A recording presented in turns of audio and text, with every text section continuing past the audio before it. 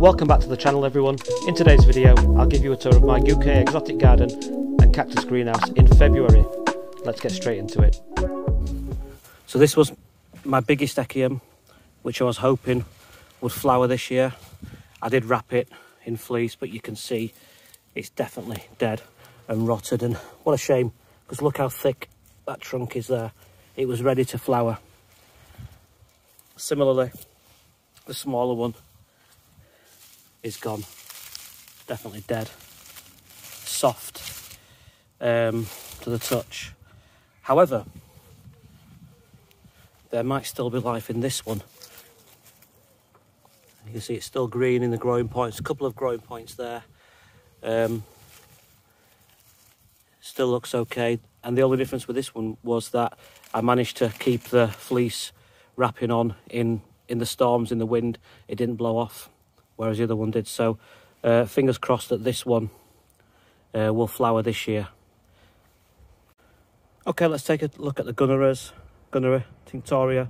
I've got two plants. We'll look at the one in the barrel first, and you can see it's pushing up new growth.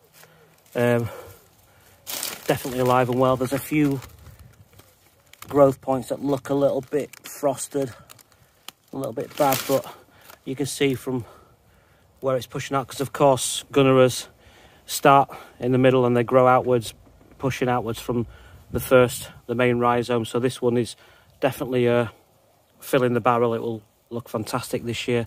But of course I'm keeping on uh, the winter protection for now because the first leaves it throws out tend to be the biggest and I don't want them to get frosted.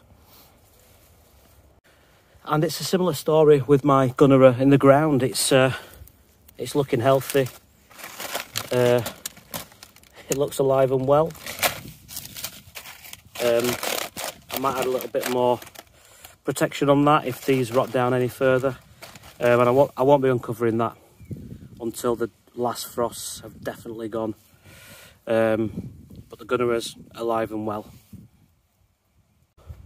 Okay, onto the cordylines. Now I've got two cordylines um, in my garden. Standard green form, cordyline australis or australis, and the first one, which is on a west facing wall with a decent sized trunk, um, has taken no damage whatsoever. Um, you can look down into the growing point and everything looks healthy and strong. That's fantastic. Really pleased with that one. However, let's have a little look at the other one. Now this cordyline is on my uh, west facing wall and it gets a lot of uh, the afternoon sun in in winter. Um, however, if you look at the one just there, it's sort of got a little bit of frost protection from the eucalyptus tree, whereas this one's got nothing overhead. And you can see that it's definitely taken a hit in the growing point there. So a little bit of spear pull, a little bit of uh, dieback there. And uh, luckily though, it is a multi-stemmed one, which is why I bought it in the first place. There are a couple of growing points down there already and the rest of the stem looks good so um, I'll just leave it I'll just leave it and see what happens. Hopefully it will uh, bounce back to life but it's definitely not dead. Um, and it doesn't look as bad as some I've seen online and around uh, the neighbourhood. Um, so fingers crossed this cordyline will come out unscathed too onto my banana grove Musa well this is the second or third waterproof covering I've had to put on it. A few's blown off in the storms. Um, my two main trunks feel solid. Uh, pseudo stem, sorry. Absolutely fine there. And to be honest, I didn't even wrap it very well. And in parts, it's only got one layer of fleece um, before it gets down to the uh, the straw. This baby pup perished. It still feels hard there, but it snapped in the wind or uh, whatever. But again, no problems with that. And I'm hoping there's a lot of pups still alive and kicking under the straw because I would like to divide this in uh, in spring and do put a new grove of bananas just in this space down here uh, next to the hammock. So again, I'm not going to unwrap that till I know the frosts are definitely over, which is probably April. So uh, it's definitely pushing out new growth. I can feel, you know, it's grown. I can feel it's sort of bent over, growing up there, pushing through, which is which is what they always do when they feel a little bit of warmth. So there's the Musa basjoo. Uh, Paulownia, foxglove tree. Not a lot to look at, at the minute. I have cut it back, hoping that it'll uh, start shooting from here. But if you're new to Paulownias or foxglove trees, um,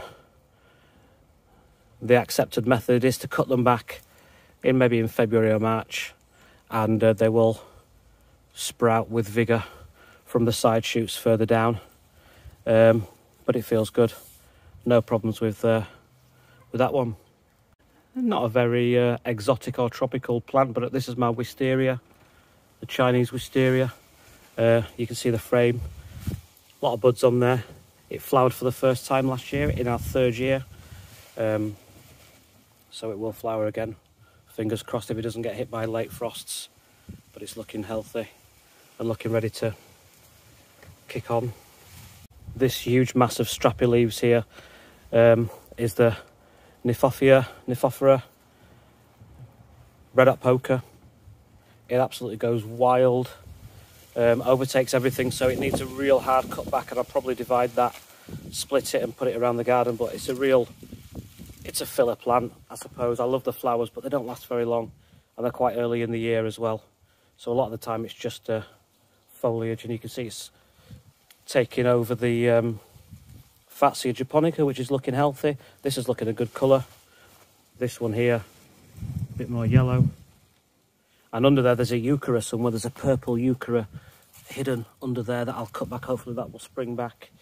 Um, here's my Miscanthus giganteus.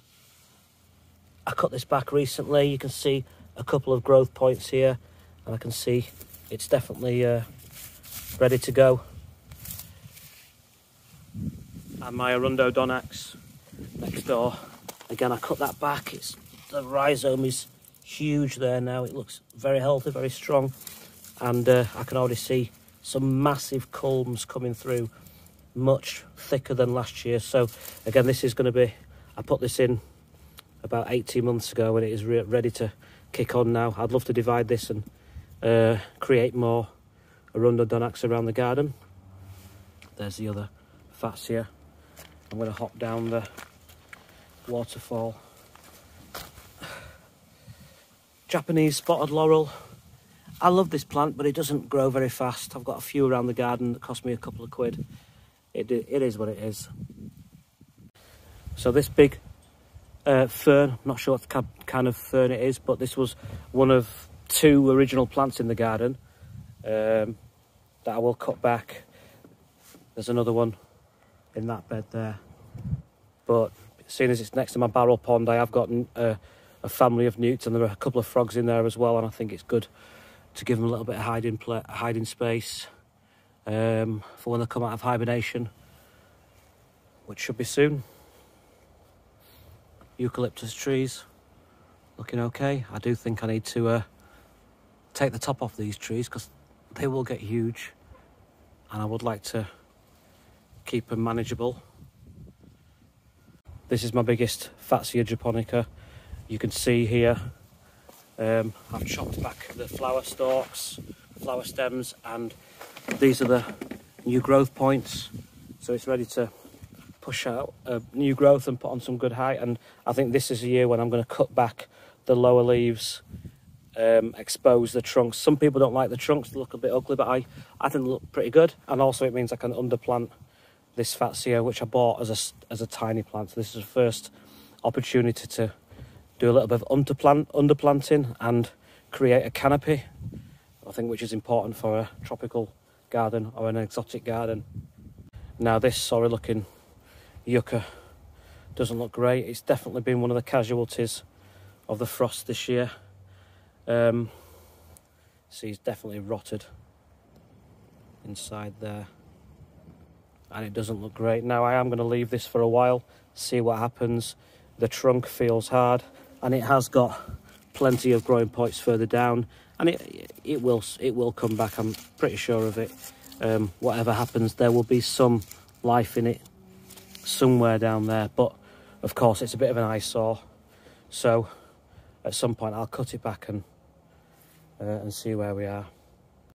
And down here, you can see the Euphorbia mellifera, the honey spurge. This was the first winter in the ground for me. I bought it as a young plant last year. One of my favourite Euphorbia, uh, which for a lot of people is evergreen, and it looks, I mean, alive, but it has taken some damage and it is sprouting from the base there. So uh, the jury's out on if this will be hardy evergreen for me, uh, but it is alive.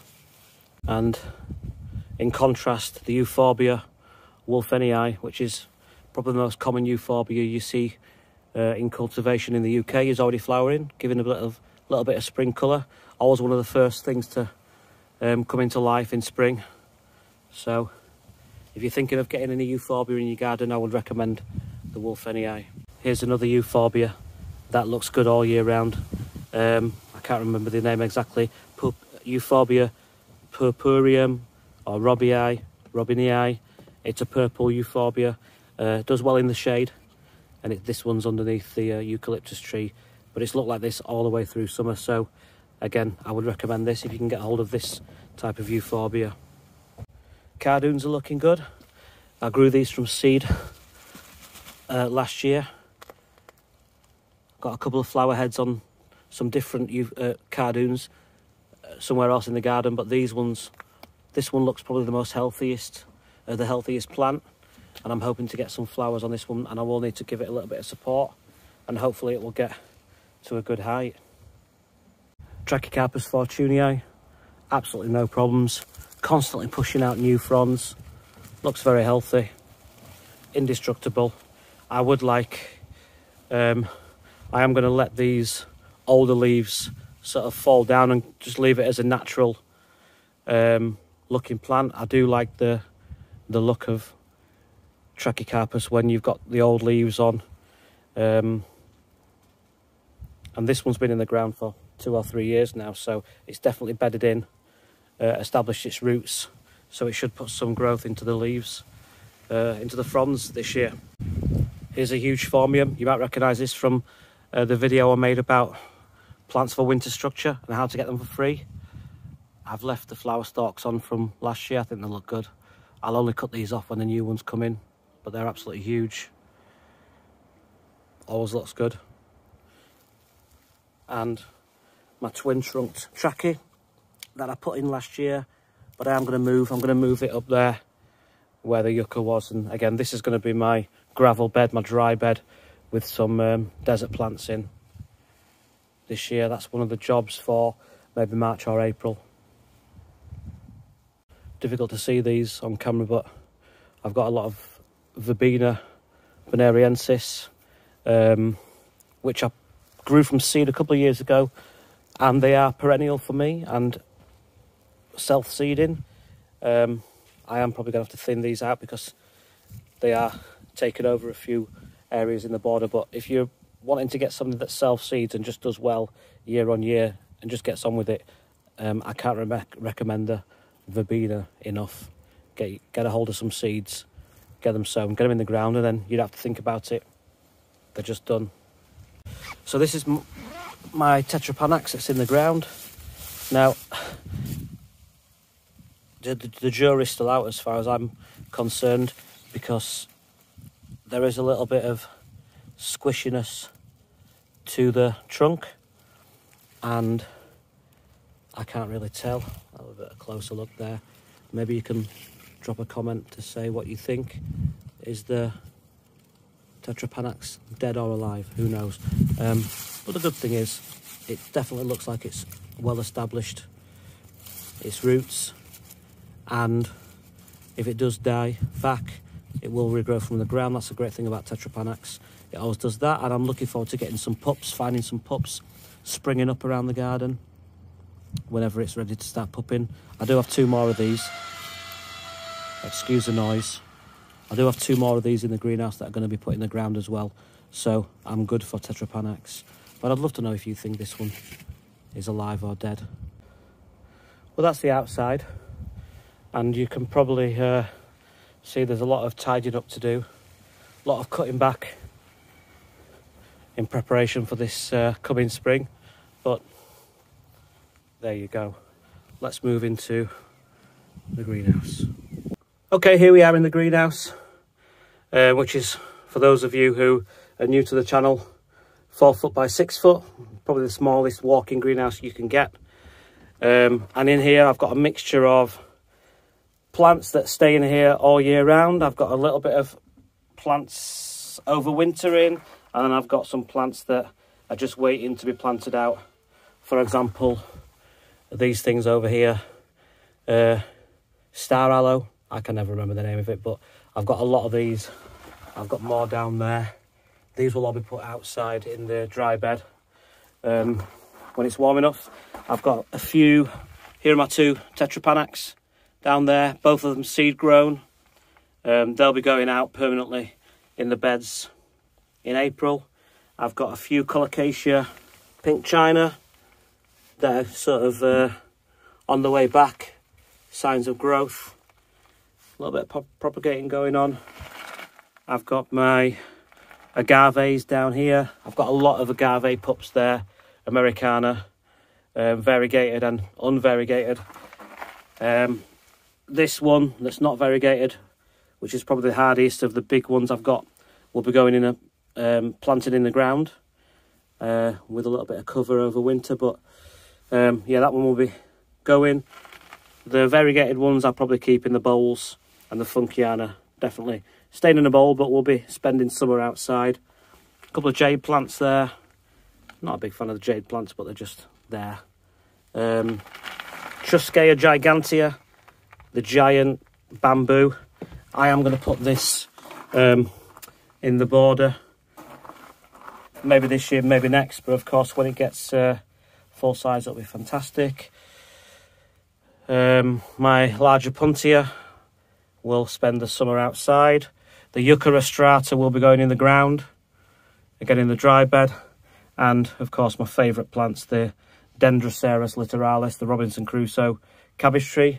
I've got three in various states of health and I have a few more uh, to grow from seed this year. But up on the on the bench, I've got my Copiapoa.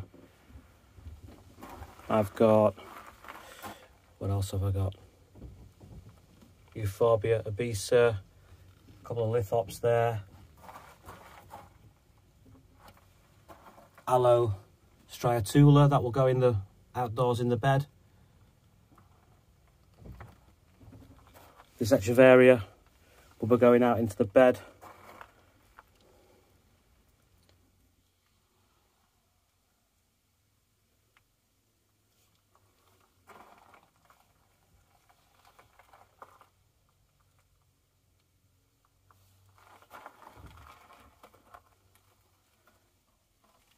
This Opuntia humifusa will be in the bed as well. It's shriveled up, which is what it does in winter, but it will come, it'll bounce back easily. And that's the greenhouse. Thanks for watching. If you enjoyed the video, please consider subscribing and check out this video or this video too. Bye.